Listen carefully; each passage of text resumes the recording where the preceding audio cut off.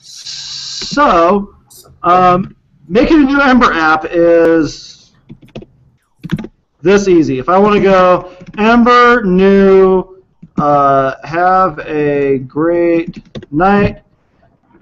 Pew pew pew. We're uh, we're already installing a, a new Ember app. Pretty cool stuff, right? So if I want to skip ahead to one that I've already got all the all the stuff on, uh, I can go to. Oh, I got. Oh, right. Good call. As much as we love looking at your face. Yeah. you you can see the code in my eyes. Uh, so is that that good, Dave? Yeah. Awesome.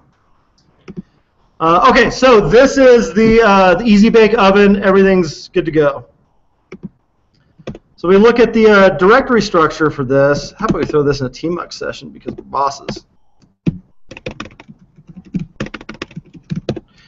Um, and call this the editor and vim it up. Okay, so here's our directory tree. Uh, if you've been doing this for a bit, this probably looks like, uh, wow, best practices, best, best practices all over the place. We've got stuff for our public folder, that's like our assets, any of that kind of stuff. We got room for our tests.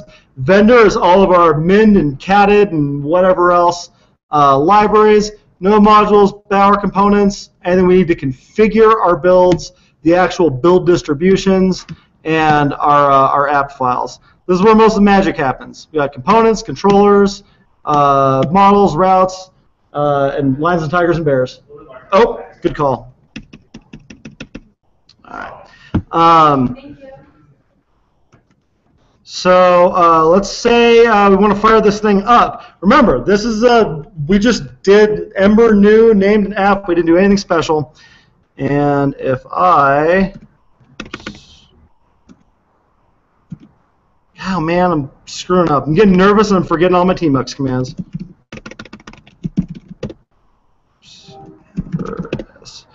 This is going to fire up our, our built-in web server, and ta-da! We are now serving this uh, this fresh app on localhost 4200. So if we go over here. Hey, there's our new app. So let's say we want to edit some stuff on that. That looks a little bit familiar, right? We got uh, an H2 with Welcome to Ember, and there it is. So if I say Welcome to Ember Denver and save. Oh wow, I didn't have to do anything special. Auto refresh for me. That's pretty cool. So this outlet thing down here, this means that if I nest any kind of uh, view or template, whatever, whatever you want to call it, inside of this, then that's going to show up there. So let's uh, let's add something. Call this the shell, and we'll say Ember generate route. Um, I'm going to call it coffee. And then we're going to go over and look at this router, which Steve's talking about tonight. And here's this new route. So the idea on the router, which Steve will go into way more depth, I'm sure, is the idea of tying a URL to a uh, to a route. So if we go to our localhost 4200 and we go slash coffee, it's going to hit this route, which has a this handler right here. So how about we do that?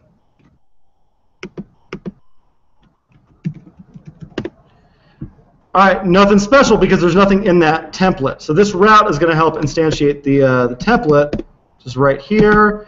If I say uh, I like coffee,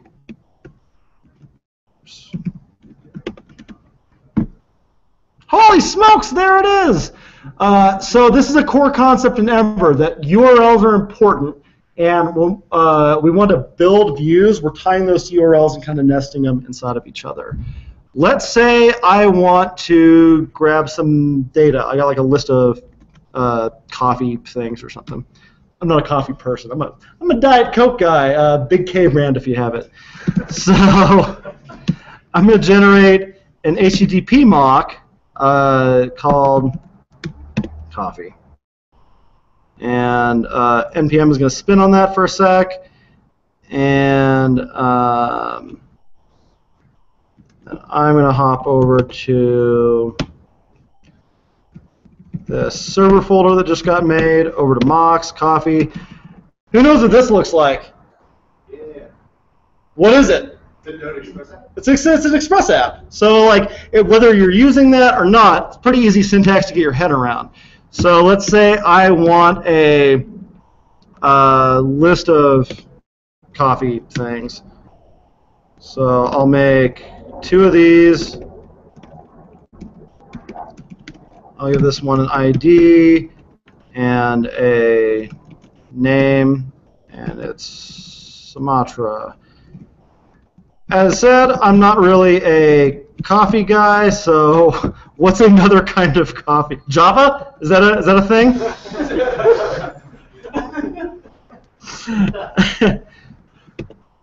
I'm doing a great job. So um, I've made a uh, an express route now that when I go to slash coffee, I'm going to get uh, this array back that has these things.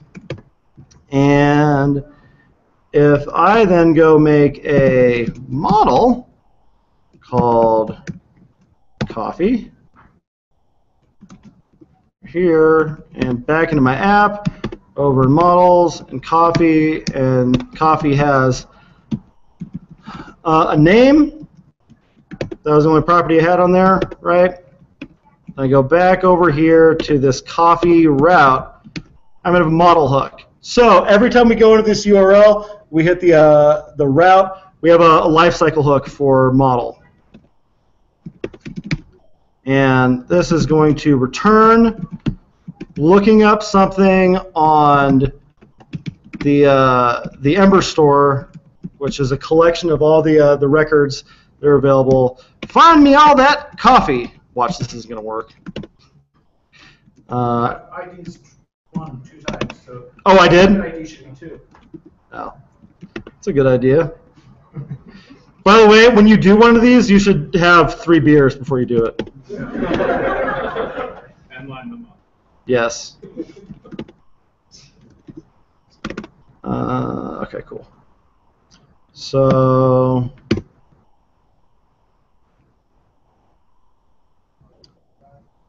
And I'm going to go over here and our pew pew pew. All right, that get coffees. Plur- Plurals and singulars, man. So it's down here. Let's just call it that. And then we need to make a data adapter. So we're going to make an adapter, and we're going to call it application. So this is what uh, uh, Wasmer's going to talk about in his presentation is how these things work. So, yeah. Go over here to adapters. And so what these do, and Dave will go into way more detail about this, is when I say, I want coffee, uh, it's going to translate that request for, uh, for coffee into some URL for some, some API that follows some kind of standard. It could be RESTful, it could be sockets, it could be whatever, but we're able to keep our code in Ember uh, the same. We're able to swap out what uh, the URL structure for that looks like. Switch that is going to be API. And all right, back in business there. So let's hop back over to. All right, so we've got all that uh, all that coffee available, and on this route. What if I did a each? Um, what's the new syntax? It's each Copy. each As. coffee as yeah each coffee as model and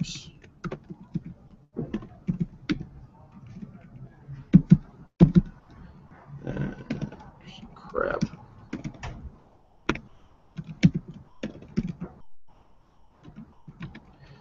and when I go uh, make a template kind of thing that says look up that coffee name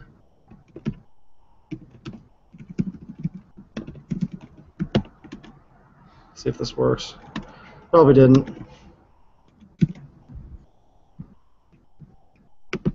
Um, and. No, it's coffee is the thing, right? You want each model as copy. Yeah. Oh, that that's what I was trying to figure out. Surprisingly, get a bunch of uh, Ember developers in here, and maybe we can figure out how to how to make this beginner thing. Oh, holy shit! Um, so uh, think about what we did there. We set up something that has internal routing. We have something that has a built-in mock data server. We have a, a replaceable data adapter. We've got nested routing on here. And uh, if that wasn't enough, if I go to this URL tests, then, oops, no, never mind. If we go to this URL test, oh shit, we've been running an entire testing framework in the background too. So you saw what three beers Kyle was able to do in like 10 minutes with Ember. Uh, think about what you could do if you spent a little bit of time and had three less beers than this. Uh, anyway, that's uh, that's an idea of how much we can get done in a very small amount of time uh, with Ember. Pretty neat stuff. Ooh, ah, coffee. Way to go, Kyle. Applause.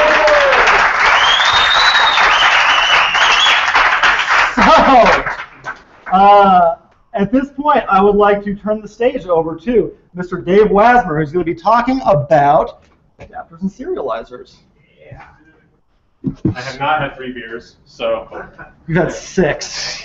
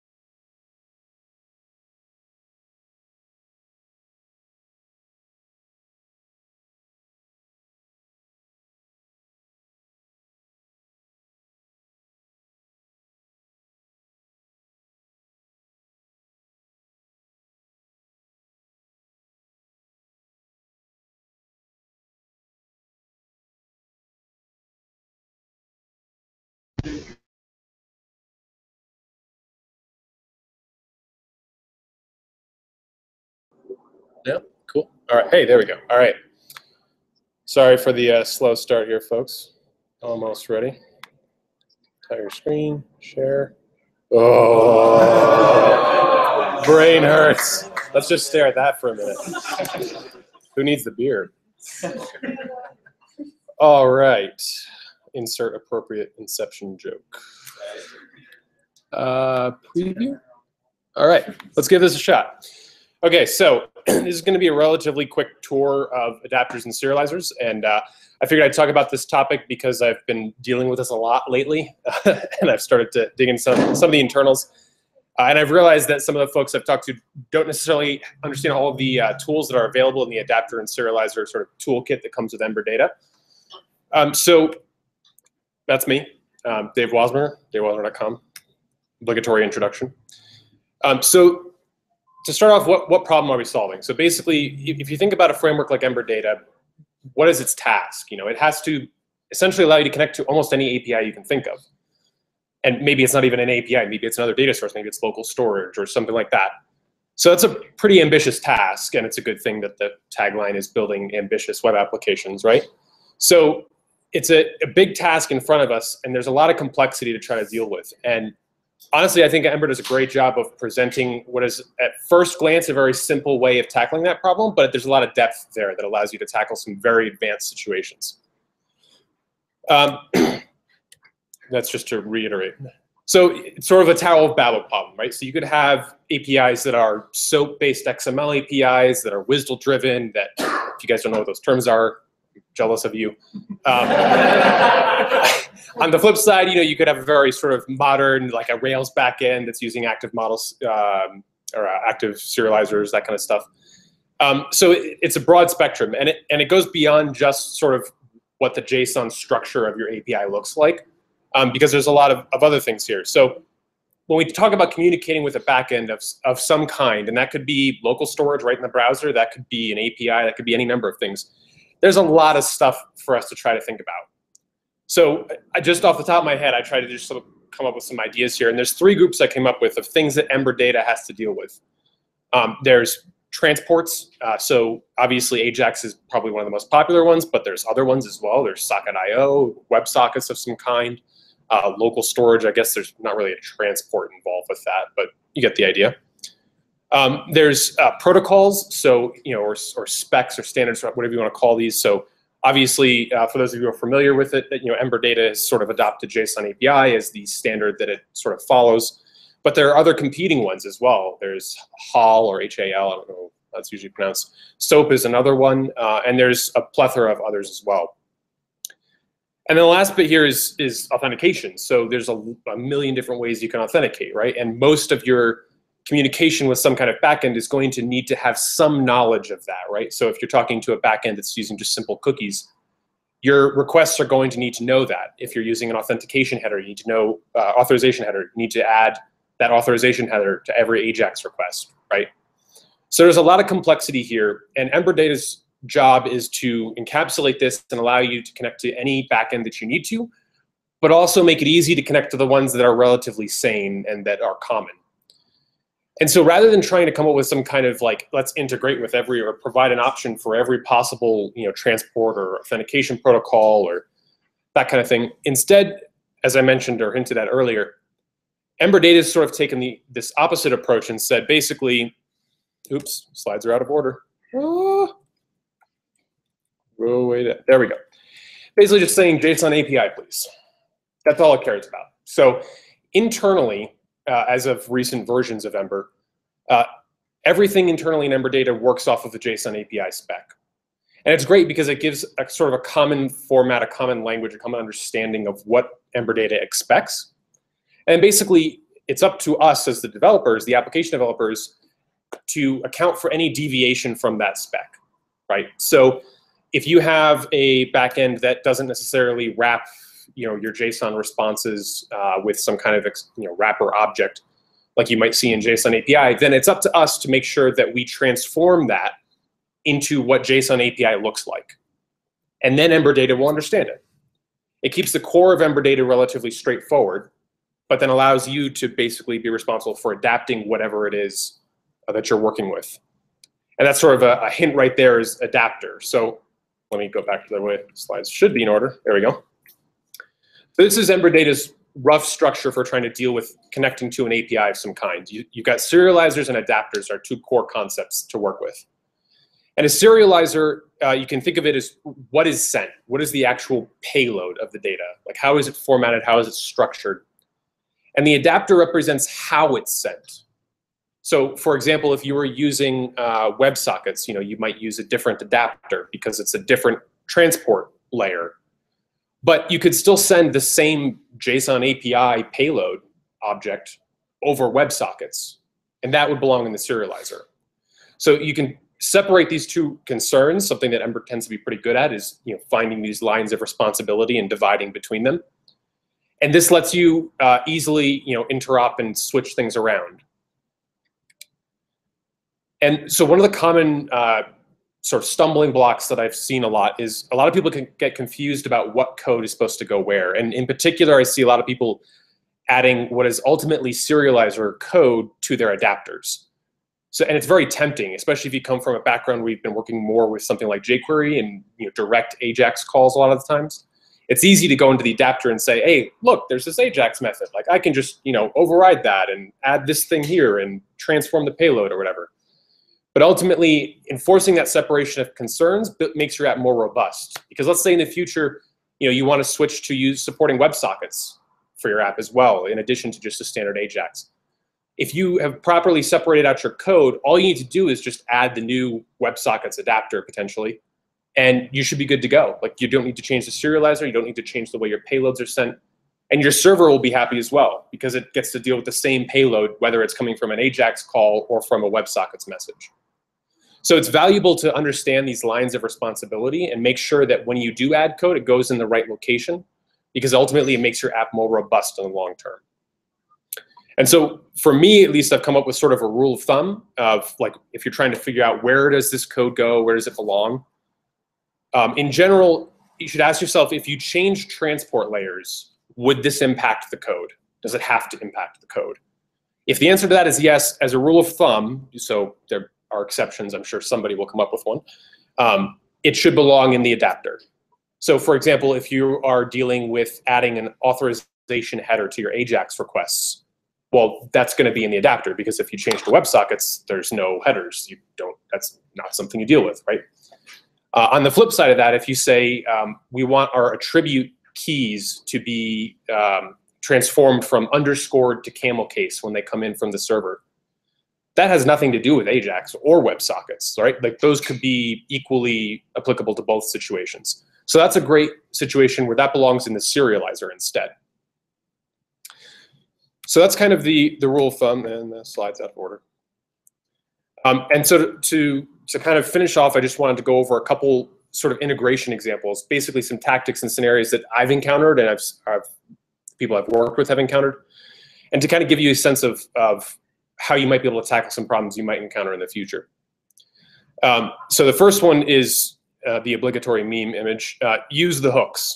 So there's a lot of hooks that are available in Ember Data. Uh, if you just look through the docs, it's it's kind of staggering at times.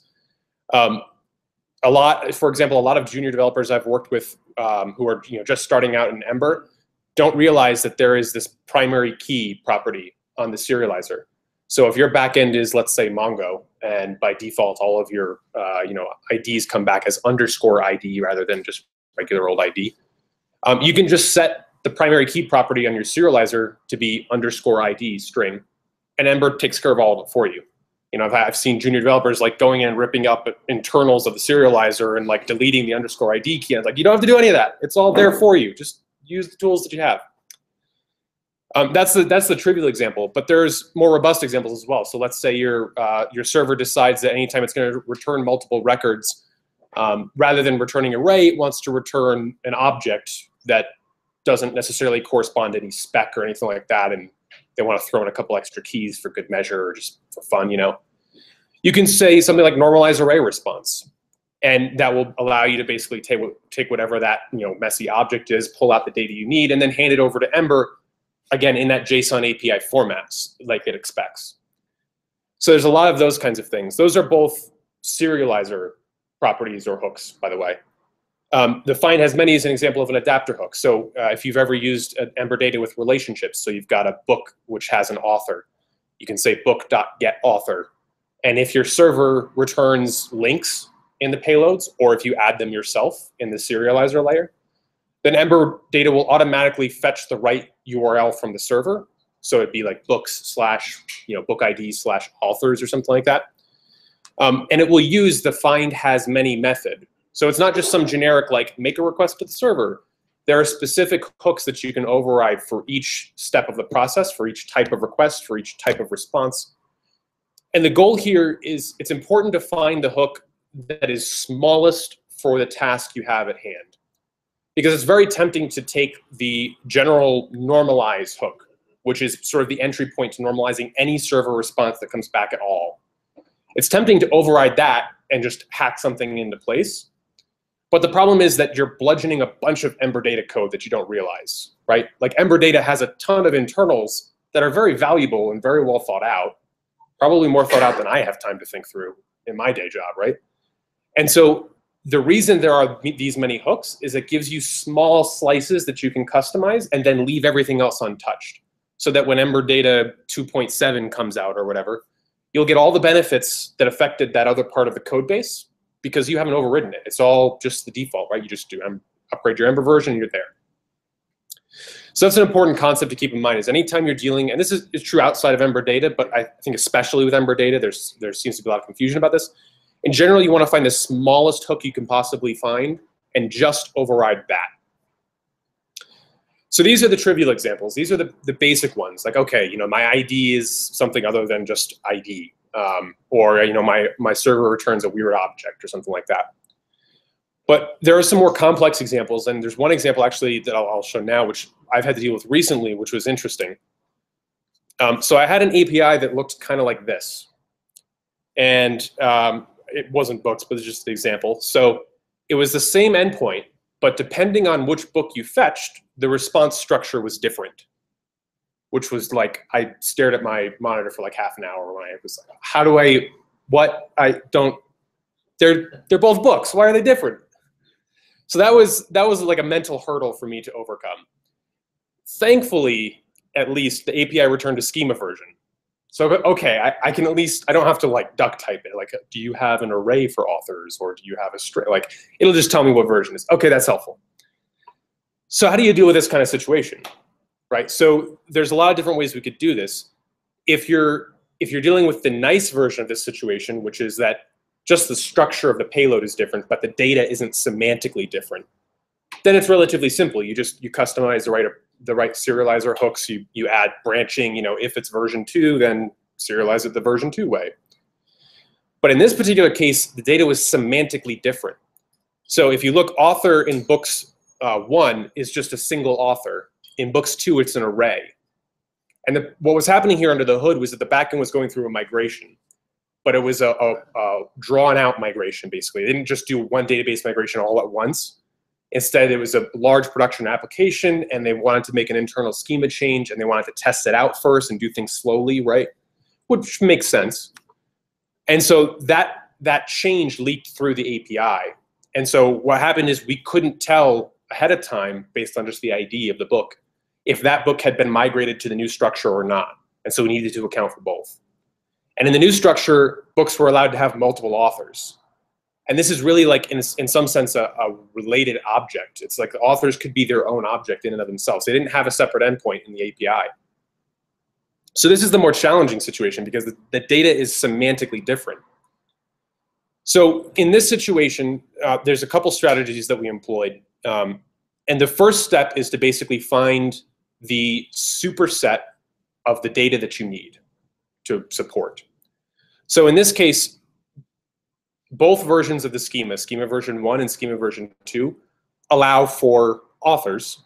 Schema version 1 allows for a single author, schema version 2 allows for multiple authors. But we could model schema version 1 as having multiple authors, it's just they always have one, right? So from our code's perspective, we could try to treat it as if books always have multiple authors, and then it just so happens that the schema 1 versions will never have more than one because the data from the server doesn't allow that. So this, oh, well. exactly. Um, so the, the three sort of points that we came up with, the first was when the data comes in from the server, we normalized it all into the V2 structure internally in our Ember application. So we actually set up a relationship. So we had a book model and an author model. And we said books has many authors. And in the data that came in from the server in the normalized hooks, we said if it's a schema version one, then basically just wrap the author in an array. Like treat it like it was multiple to start with. And then on the way back to the server, we reverse that process. So we hang on to the schema version number and we say this was a version one book. So on the way back to the server, we unwrap that array and we just have the single author there for the server to use. So that's the first part of that, that equation. But the next part is that in the, the snippets I showed there was just a string for a name, but if the, in this case, the, the author was like a deeply nested object with its own properties. So one of the things to, to keep in mind is that Ember Data has a tough time tracking changes on nested objects for a variety of reasons, which I can go into, but it does. Um, and so in this scenario, we didn't want to, to treat these authors as just nested objects in some array on the book. We wanted to be a full-fledged model. We wanted to be able to address it on its own, have the relationship work both ways. So if I wanted to say author.get books, I wanted to be able to do that in the other parts of the Ember application. But the API did not have a slash authors endpoint. There was no way to address an individual author. So what we did is we actually have a client-side only model for the author. So when the data comes back from the server, even though from the API perspective it's not a separate resource, we treat it like it is. And we just treat it basically like the server's always embedding those resources in every response all of the time. So instead, we have an author's model and we have its author's serializer, and it's a full-fledged separate resource in our Ember application. But when it goes back to the server, it's always serialized back into a single payload every time. The drawback of this approach, for those of you who are paying attention, is that you can't call save on an author. We could get clever and override the save method, but then that starts to get tricky, like, you know, if you want to do that. So that's the drawback of that approach. And then, like I said, anytime the data goes back to the server, we simply serialize it from whatever, from the internal V2 version into whatever it was originally when it came to us from the server. So if it was V2, it goes back as V2. If it was V1, we unwrap that array and we send it back that way. So that's an example, a more advanced example of how you can use some of these uh, approaches with Ember data using the right hooks, finding the smallest hook that you possibly can to override to inject your own code, and then starting to, to change your thinking from saying, you know, my Ember data models don't necessarily have to one-to-one -one correspond with what the API and the server think. Like there can be this disconnect. And because of the robustness of the API, uh, sorry, from the adapter and serializer layer, it's very easy to do that with Ember. You can have an entire structure inside your app that is not necessarily reflected in the API, but maybe it makes more sense for your app to behave that way. Um, so that's that's kind of the rundown. Um, that's that's it. Yeah. Thanks. Any questions? Holy cow! You see why I shouldn't be doing these? We should have people like Dave doing this. Maybe you're Dave that could be uh, talking to us next month. Another round of applause for Dave. Uh, okay, so uh, 180 seconds, three minutes to kind of stand up, wiggle around while Steve gets set up, and we're right back into it. Uh,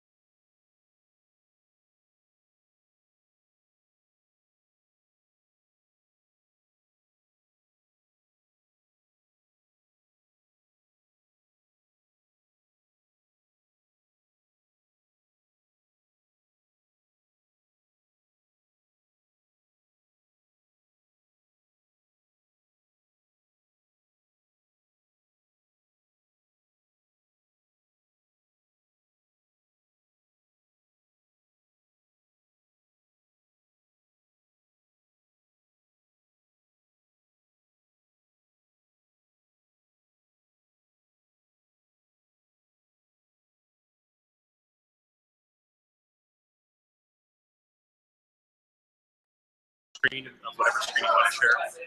This one. Yep. So where do I hold on? Boom. There you go. All right. So, um, again, I want to express my gratitude for everybody coming out tonight. Uh, we're not number one, we're not even number two anymore, but uh, I'm really grateful that we're where we're at because we're not owned by someone else. We're not owned by Google. We're not owned by Facebook. Uh, so we don't have to be I am. the greatest social network. We don't have to be the greatest search engine tool. And if uh, if whatever owner wants to go take uh, the framework in another direction, we don't have to run that way. This framework is owned by us. This community is owned by us. This is a community framework. Um, so, uh, without further ado, I would like to introduce my better half in the uh, education world, uh, co-director of academics for Turing School and EmberConf 2015 uh, speaker, Steve Kinney. Um, all right, so disclaimers, as you know, that's probably the best thing to start out with. Um, so I was giving a talk on Friday, and six minutes before my talk, I dropped my computer. So this is like rando computer that I picked up out of terrain and tried to set myself up on. So you know, things might happen. It'll be cool. Uh, we'll figure it out. Um, yeah, real quick, I am the co-director of academics at the Turing School of Software and Design over on 15 and Blake. Um, so if you're looking to hire students, like they're here, hire them. That's it. Done. Um, if you are looking to like mentor students, like Mike, did Mike leave? Where's Mike? Mike left. Uh, if you're willing to mentor students and then leave during my talk, you can be like Mike and do that. That'd be cool too. And like work with uh, some junior developers. Also, organizer of NodeBots Colorado. Um, yeah, so if you want to build robots, I'm thinking about trying to schedule something in November because right after we announced that we were not going to, everyone's like, you totally should. And really, I'm a sheep. So I'll do it. It's cool. Let's make it happen. Um, so I'm actually going to talk a little bit today. Like, I really like the kind of like the theme of the three talks right now. The theme of the three talks are like not like some like Ember add-on that you can totally use and like that's sweet, but like just like core features in Ember, right? Like how to Ember. Um, and so, you know, Kyle kind of just said, like, how do you get anything up and running, right? And then Dave looked at, like, all right, adapters and serializers. I'm actually only going to talk about one thing today. Yay. Uh, woo!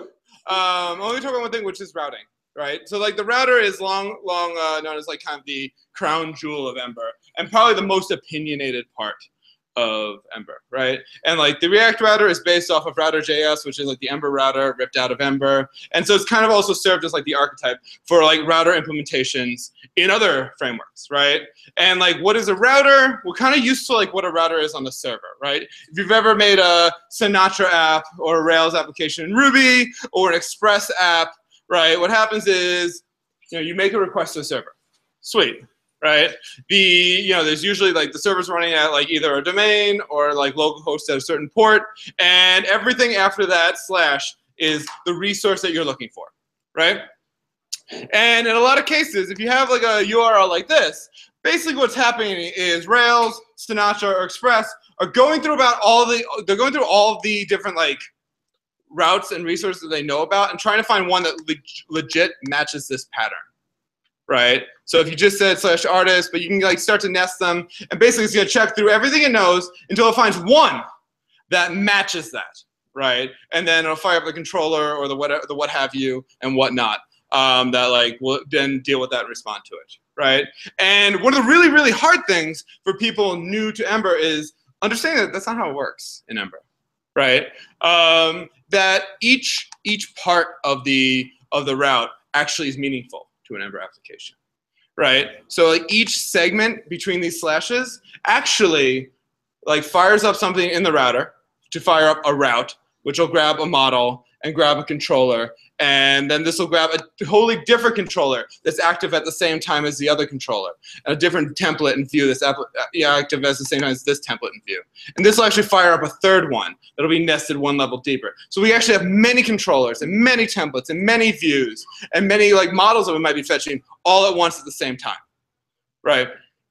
And one of the things that Ember finds really important is if you've ever gone to a, like a uh, I don't mean to throw like bank websites under the bus, but fuck them, right? Um, and they say like, whatever you do, don't hit the back button, right? Like that kind of breaks the web browser. Like there's a back button in my web browser, right? Um, all of the routing on the client side kind of uses this history API to like push stuff up and pop stuff on and like so on and so forth.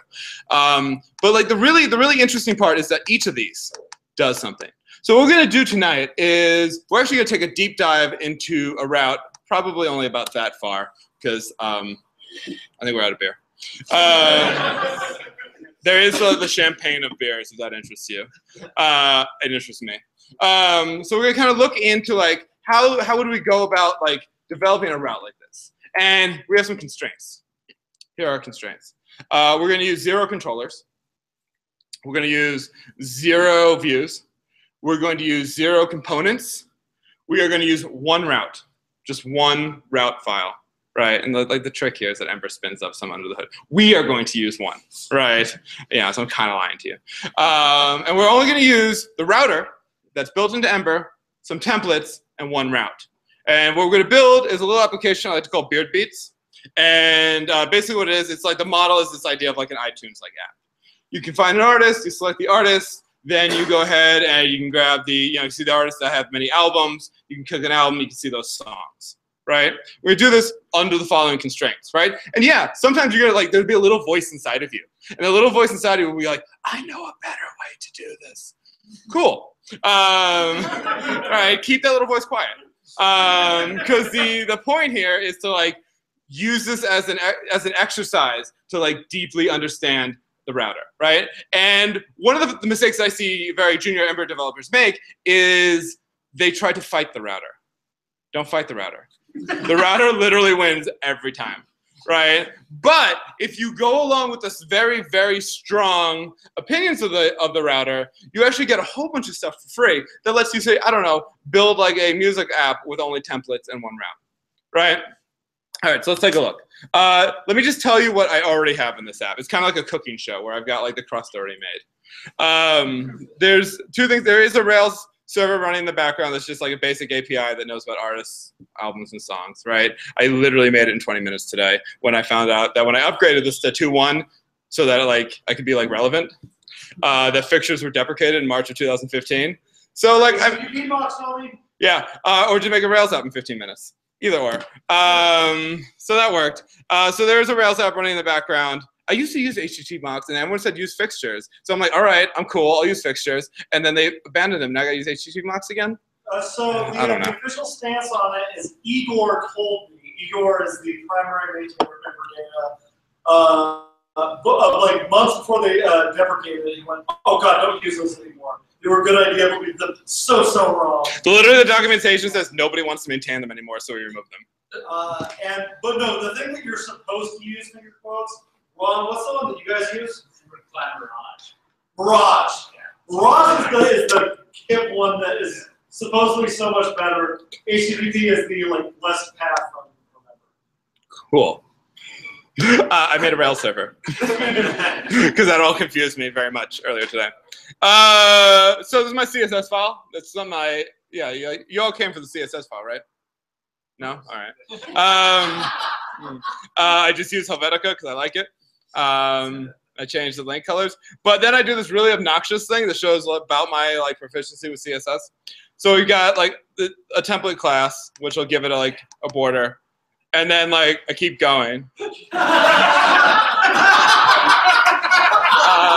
and that should be enough.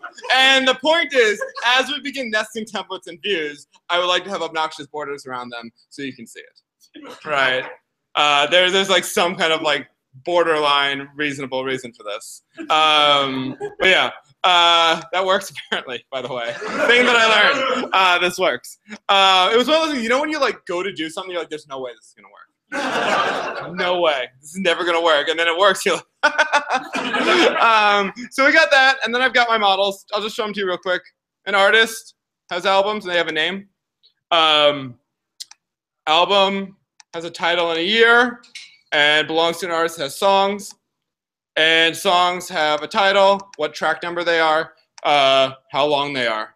Um, to keep with the theme, I originally was just gonna make a music app, and then I was using, and then the idea of just only using artists that have beards came up, and then I realized that beard based is alliteration. Here we are.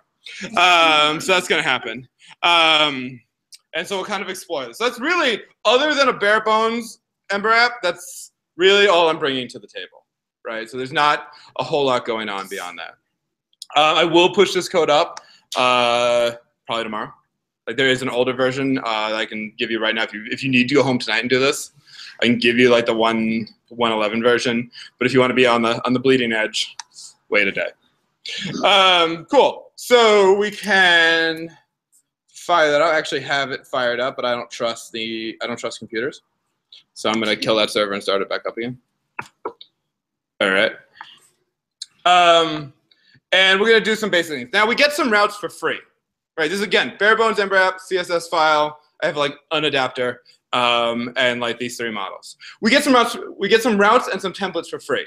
And like the the big dog in the room is the application template and route. Right. So if you were to go over to an app Hey, not the thing I was looking for. Uh, we go to localhost 4200. Um, we automatically get an application route, like out of the box. And we can, if we open up the Ember inspector, hey, look, there's Ember. We can actually see our routes. We've got an application route, and we get an index route. The application route is kind of like the big, like overarching, like Chrome around our application, right? And by default, it lives in this little um, handlebars file that comes with Ember called application HBS, right? Handlebars. And all I've done so far is I did my first template thing. This is just totally semantic for our, like, so we can keep track of stuff as we're going along. Um, I say welcome. I say that we are in the application HBS so that we can keep track of this. And we have this thing called an outlet. And an outlet, when we're doing stuff, when we like start to look at those routes, an outlet is what each sub route and each sub template is loaded into right? And so like as we do a nested uh, thing, if you will, that's a technical term, it'll be loaded in the outlet, right? And but sometimes like we haven't gone all the way down the route, the route. So like chances are we might stop here or we might stop here, right? And so one of the kind of um, abstractions that Ember gives us is this idea called an index, right? Index route and index template. It's basically if you have nothing to put in this outlet, go ahead and put this index in the outlet, right? It's kind of like on the regular old old school web It's like if you have an index.html, you just go to a given like folder, it's the default page that's you know that's shown, right? So it's that kind of basic concept. It's if you have nothing else to put here, go and put an index um, HBS in here or the index route for whatever we're looking for. Um, so let's go ahead and what we're going to do is we're going to create a template for that. I'm going to say ember g template. I'll even spell it right, who knows. Uh, ember g template index, boom, and it creates app templates index. I can go back over, and here it is. And it's, it's amazing. Uh, it's an empty file. So I'm just going to put another, some markup in here. So we're live coding, but there's a little copy paste action because nobody wants to watch me write HTML while drinking the champagne of beers. Um, so here we're gonna have an index template, right? And we'll just kind of announce what it is and we'll save that over and we'll hop over to our application. Right, so you can see that our application template is kind of the big overarching one. And in our outlet, we render the index template. We can go over here into the view tree and we can do this hover thing and like Ember will show us kind of this nested idea, right? That we're gonna one route this has a this could have a route file. This could have a controller that is separate from the application control and the application route. Like it's again, it's really hard if you've done a lot of server-side programming to wrap your head around this, but there's like any given part has its own controller. There are multiple controllers that can communicate with each other and like you know share information with each other. Um, so we have these two right here. Now this is great, but this is not this is not what we want yet, right? So the first thing we have is this idea of artists, right? And what we want to do is we want to create um, a route, right? So the first part of our segment, if we go back, is this idea of artists. So like when we go to slash artists, we should see all of the artists. All right, so let's do that. Uh, I'm gonna use generator. Uh, so I'll use ember g route artists, plural. And you can see we got a few files made. We got a route file called uh, routes artist.js. and we get a template file called artist.hbs. Uh, we get one more thing happens is in our router, this gets modified, right? It puts a route in here for artists, right? And this is meaningful to the Ember router. Um, and so now if we flip back over to our application, go to routes, we can see that not only we have this artist route and the URL slash artist, you can see like, hey, uh, Ember's got strong opinions, I want to name everything. What do I name the template? You name it artists. What do you name a controller? You name it artists. What do you name a route? You name it artists, right? There's a cheat sheet here, right? You can kind of look at what it has to be in any given moment. So I've got this artist um, like route, and I can go to slash artists. And that's weird. My index is gone, right? Because theoretically, the index uh, handlebar file was only for plugging up that outlet hole when there's nothing to put in there, right? Now we have something. We have this artist route. We have this artist template. It's totally blank, so like that's why we don't see anything, right? Here it is in all of its glory, just another outlet. So let's go ahead and like let's put something in there. Uh, so we can pop that right in here right? Again, just another template. We're basically just like using these nested divs and template to make use of my awesome CSS and kind of announce like where each file is coming from. So we can flip back and you can say this is artists HBS. Let's do one other thing real quick and we'll uh, give ourselves a link in the index template uh, in order to get back and forth. So in here, we're just going to change this by throwing a link to to the artists. So I can go to localhost 4200. When there's nothing to put in that outlet, well, we get indexed at HBS. When we go to our artist, well, now there's something to put in that outlet in the application controller, right?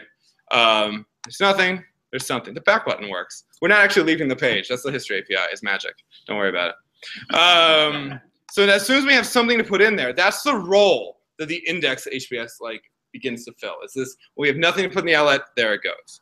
Okay, so, and you also notice that we changed the URL, right? And the idea is here, like, the other thing that web, like JavaScript applications do that annoys me to no end is you find like a really cute cat meme and you want to send it to somebody and like that whole, like, there's no URL. So they get sent to the homepage, right? The idea is if we go to slash artist, the router kind of looks at everything past that slash, figures out what routes it needs to get, figures out what templates it needs to fire, and can give us back to that awesome cat meme. Um, super important. Big change on the web. Um, so here's here is the point where we are going to actually use our one route of the night. Um, and what we'll do is basically we want to get all of our artists from uh, the database, right? And we can flip over here and we can kind of see that we can go in. We have a model a model file. I'm sorry, route file that currently goes and gets nothing we're basically saying Kyle showed this earlier. He kind of explained this. Um, go to Ember Data, find all the artists, right? Which is actually going to fire an AJAX request to our server, which is going to ask it for all the artists. All the artists are going to be sent back. Ember is going to figure this all out, right? We don't have to worry about it. That's the extent that will be all the AJAX we'll be writing tonight. And we're not even writing it, like something else is doing it. It's fine. Um, cool. Uh, if you want to be cool, you can do the ES6 syntax, right? Be a hipster about it. It still works. Um, and there it is. Uh, and so now we can see that when we go to artists, we go to data. Oh, look. Actually, was that a dig because I used the ES6 syntax on that? It's not a dig. It's mostly I forgot it existed. and when Kyle did it, it's like, I'm going to look like a jerk if I don't use it. I just saw and here I am. doing it and I felt left out. I mean, this is kind of like. yeah, it's like by definition, right? The cool kids are doing it. Um, so if we go, like, you can see, and this is a cool thing about Ember Data, just like, I know we're only talking about routes, I promise that, right? Uh, you click artists, there are no artists, right?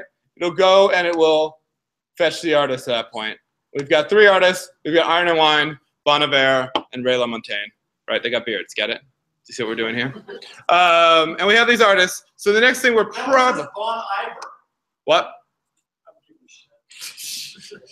I'll tell a story about that later has to do with me being a middle teacher, middle school teacher, and teenagers think they're cooler than me. They're not. Um, all right, so what we'll do now is instead of just like showing none of the artists, we'll actually update this a little bit here to like show all of our artists. All right, so we'll just basically, all I've added here is an order list, And we're going to iterate through the model, each artist, and we'll just display the artist's name. So far, so good? Let's go check it out. Hey, look, there they are. There's my three artists. They're rendered on the page. Um, all right, so we've kind of gotten the, the first promise done here, which is we can show artists. This is artists. This is all the artists. These two numbered ones are actually have names, right? They're not just like, I'm not going to have a three round, right? But, but the idea of like what artist? Artist singular. Like if I was thinking about this better, I would have used all exclusively like nouns that have different plural forms. Or I would have just used fish. Who knows? Uh, fish and uh, moose. Moose is plural, right? And singular? Andrew, back me up on this. It's Mies. Mies. Uh, Mies, what else? Um, next, next, next time. Um, so we need this idea of an artist route. Um, but the first thing is, like, if we look at this, of all these artists, we'll see that, well, this has an outlet too, right? Well, what should we put in here? Don't all answer at once. we can put an index template in there, right? So this idea, we cat an index uh, route for free, right? But when we actually um, have nested resources, like those can those will actually have outlets that can be filled. Let's go ahead first and let's actually make an artist route. Uh, so we'll type ember G route artist slash artist. So that's what the three stands for. Um, it's going to create a route file. I'm not going to put anything in it, thereby keeping true to my promise. Um, and that changes my router, my routes a little bit, right? Now I've got artists, and they have this idea of an artist singular, right? And so I do want to put something in that outlet. So I'm going to make a new template. Going to be artist index, right? The index template for the artist's plural outlet. Um, cool. And we'll also notice that when I made that route with the generator, it also changed my router again for me. And this is how we do nested resources, right? So the idea we're saying here is that the artist route is nested inside of the artist's plural route. And that's why it goes in here. We can kind of, we can keep this going for as long as we want, right? There's a point where it gets ridiculous, not unlike my CSS selectors from earlier, right? But like, generally speaking, it'll, it'll work for right now. Um, and you can see that it made an artist directory. I've got my index template and I've got my artist. So when, if we have no artist at all, it's going to render index, right? And if we have an artist that we want to show, then we'll use the artist template. So like index is always kind of like, I don't have anything to show you right? And it gives us kind of a placeholder. It can be like, select something from the right if you're kind of building like a like master detail view application or something along those lines. So let's put some stuff in there. Um, there is one thing we need to do to the router though, and that is we don't want to find artist slash artist, which if we look over here is what it's trying to look for. Um, that would we want to actually be able to dynamically pick an artist based on the number that gets put in there. So we'll actually use is this thing called a dynamic segment uh, which will basically figure out, based on what number is in there, figure out what artist we should look for. Um, and we can plug that into our router. Oh my god, I'm in the wrong thing. And basically all we say is path. So if you ever wanted to like, if you had an artist route, but you wanted actually the URL to be like sandwiches, I don't know why, but like you would say path sandwiches, right? Anything with a colon in front of it is a dynamic segment right? And if you might have seen this from something like Sinatra or Rails or Express, this should look slightly familiar. It's literally stolen from those, right? So it's the basic idea is from there. And so now what we'll do is we can take our index and we can basically say, we'll just put something in there to like hold the place. So in artist index, put this in here, go back over. You see the nesting is happening. It's working here, right? um, things are happening. We have our artist and we have artist index. Until we actually have an artist to plug in there, we have a new nested route. It's using this idea of an index. Um, the other thing is in our actual, we're going to do one quick change to our artists. And that's just going to be we want to link to the given artist, right?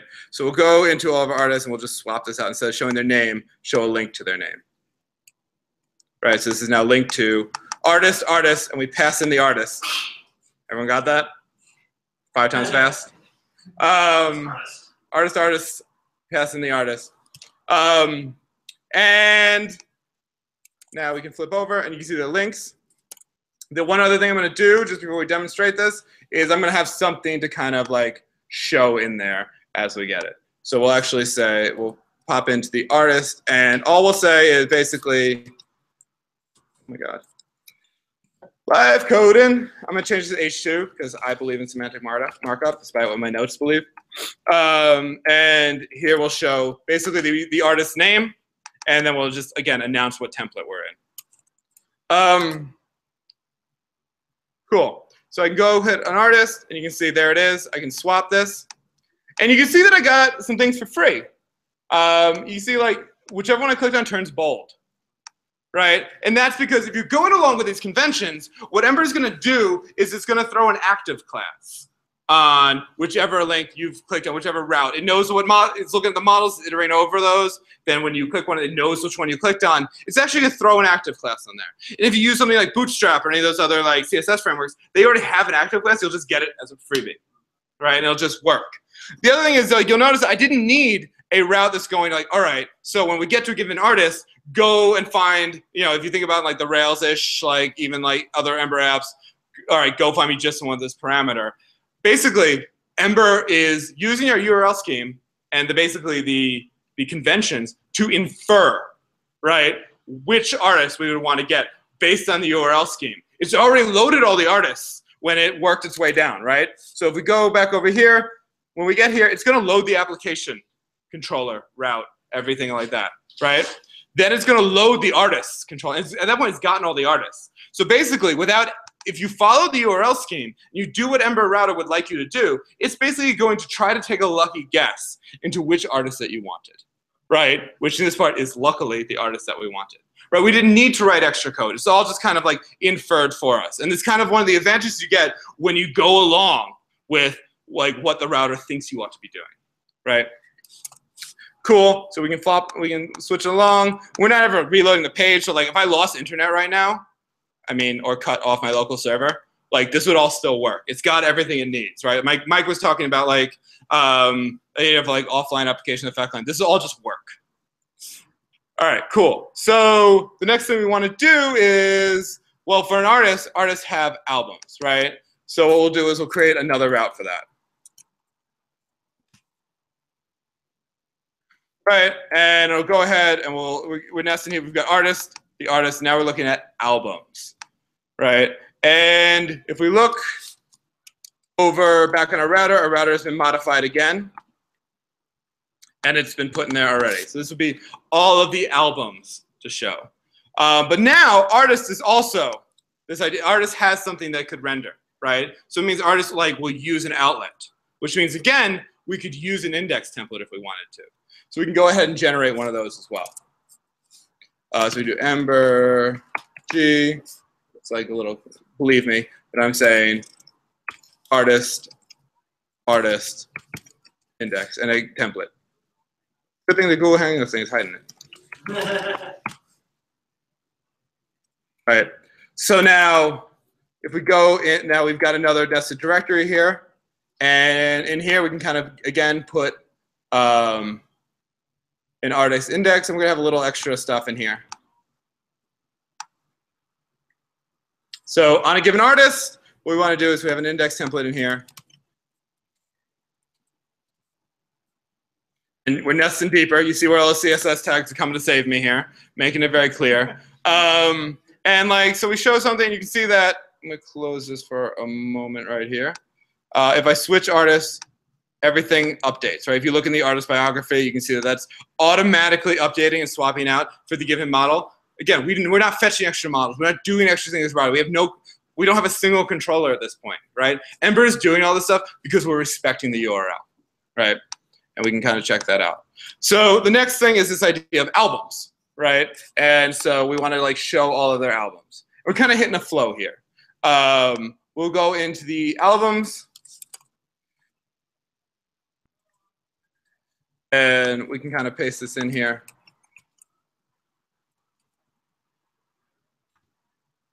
See a given album for the artist. We do end up back at the index template every time, right? But again, we've had to fetch nothing additional from server. As it turns out, Ember's actually making additional AJAX calls, right? If I go over to my Rails uh, app, right, you can see that like, oh, it got something from bigger, bigger, bigger, bigger, bigger, right? It went and got the album with the ID of two, and it knew to go get that. I didn't do anything. Again, I'm just following. It knows I have this general setup of relationships. When I got all the artists, they said, "Yeah, I'm uh, Iron and Wine. I actually have the albums with the IDs of like one and two, right? And so when I go to get that artist, it knows to fetch those. And even better, if I go back and forward once I've loaded up the app, it's not going to refetch them, right? It's only going to fetch them the first time, load them locally, and then we're good, right? So we're actually doing a whole bunch of Ajax without actually having to write any Ajax, right? Because literally nobody likes writing Ajax, right? Um, Except my students who are doing it next week. no, no, no. People have to write Ajax. Nobody likes it. He can make you do it, but he cannot make you like it. right? Like, um, cool. Um, so there's some fun stuff here. Like, I would like to show the albums. I can do fun stuff, and this is like kind of a minor deviation, but I can go over and I can render another template. I can like take templates I have and render them in other places. Um, and this will eventually like break on us. So we're gonna actually remove it. But like I can do stuff and like like Kyle's gonna have to like control himself not to yell out components. But let's go for it. Um, so I can render the album template here, and I can pass in what I want the model to be. And here we'll actually Render helper? what? You're using the render helper? I told you to be quiet. Ah! All right, you can see that it'll actually, if we go to the artist, maybe everything breaks. Who knows what happens? Woo! All right, ignore that side step. It worked. It worked earlier this afternoon. here in 2.1. I think they actually took that number up. I'm actually in 113 this time. I was in 2.1 earlier today. It worked. I, pre- I rehearsed. I'm a professional, right? But like, um, but like the idea is we're gonna stick with this. Um, you know, so now the last part because I think we only promised you we would get as because like an individual song maybe we would show the lyrics. I did make sure. Yeah, You are in I am into. Oh yeah, nice. All right, so yeah, that's fine. I think they actually did, like, no kidding, take the helper out. Yeah, I was in 2.1 earlier. I was in 1.3 because like this is a brand new computer. Literally nothing worked. Uh, so I'm actually on Ember CLI, like the master branch right now. So it's like the Wild West over here. Um, so yeah, we'll just kind of ignore that. Uh, we should show song lyrics. We could do anything on an individual song. We're gonna stop at albums and show an individual album because like we can keep this going forever, right? We can even go to like lyric line number if we wanted to and get all like genius about this. Let's not. Uh, I think we're going to make the point very soon. But um, I what I was going to say. So when I remember it, we'll pop it in there. Um, so we can go ahead. We have our albums. I'm going to take. I took out that render helper. Uh, so we want one more of this individual album, right? So the promise was I was going to get you to to here, right? And so we can go ahead and do is fix it in my notes before I copy and paste something that doesn't work. What we can do is we can now generate one more. And again, this is this should like at some point like look like the um oh I can hide this. Let's do it. Goodbye. Um, so we'll make one more route and that's artists, artist, right? So the number like three in our example, albums, and then a given album. So we can see these songs on that album, right? And there we go. And we'll take another look again, and we can see that in our router, it's been changed one more time. And we've nested yet again, right? Um, so we have this kind of like this flow of the different segments of our application. And in here, we can actually grab an album. We have all of them. I let's actually we're gonna turn that into links so we can click on them again. Uh, in albums. Right, so it's just changed that to a link to. Um, and each time we're passing it in as the model. It used to be in earlier versions of Ember, like you could pass something in and it would work if you followed it, but if you went directly to that URL, like you're kind of out of luck, right? In the more recent versions of Ember, it'll just figure it all, all out for you. Again, it's the it's the, the the kind of like trade-off of convention over configuration is it's harder to like do like I want to do this like wild thing that only I want. On the other hand, if you go with the flow, you get a whole bunch of free stuff, right? Um, so here we, we can link to each album. And then we also will have an album template, right? Which will just basically show our songs.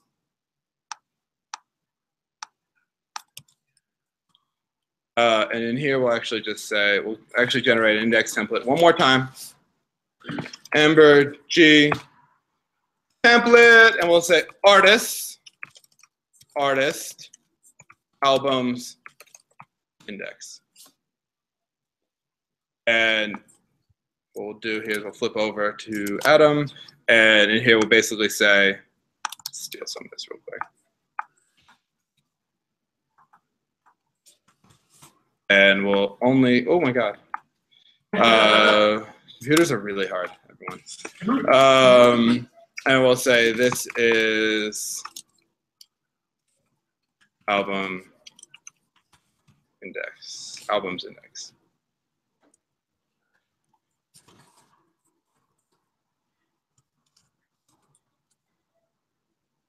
All right, so we can go over, we can see their albums, we can give an album. Um, slightly weird.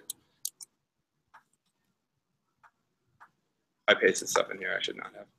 Um, so there's the album title, and we'll grab all the songs, and we'll display each song as a track.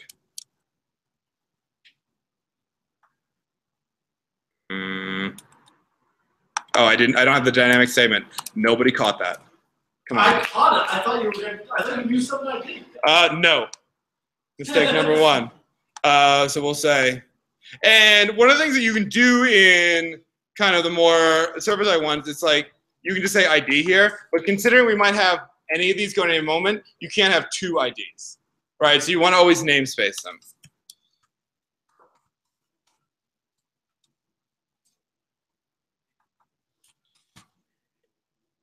Artist 2 album.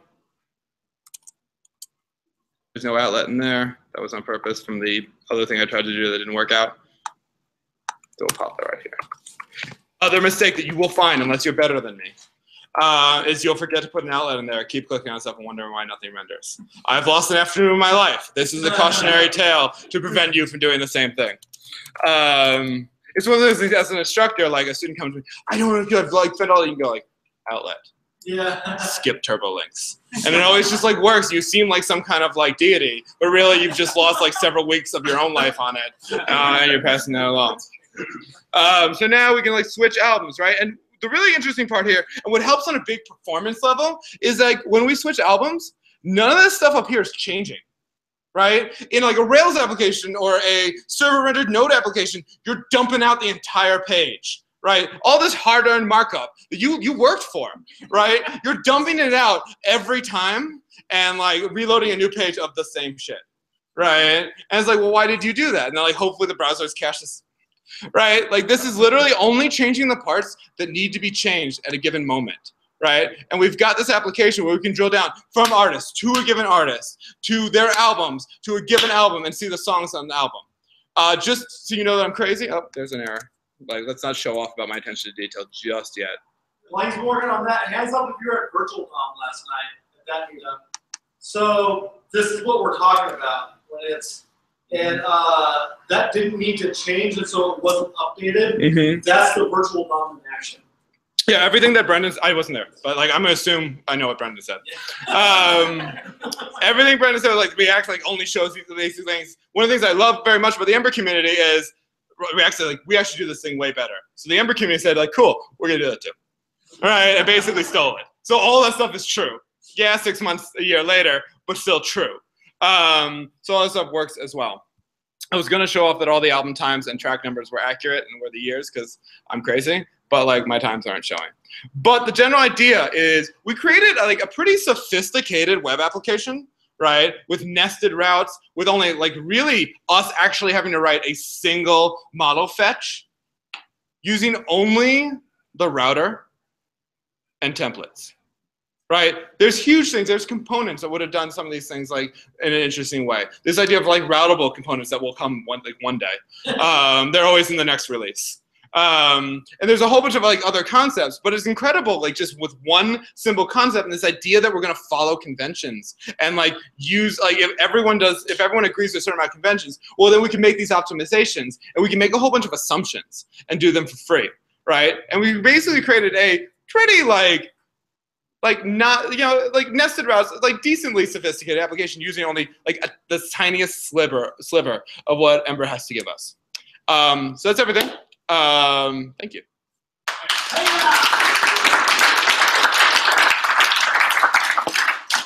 All right, folks. Uh, questions for Steve?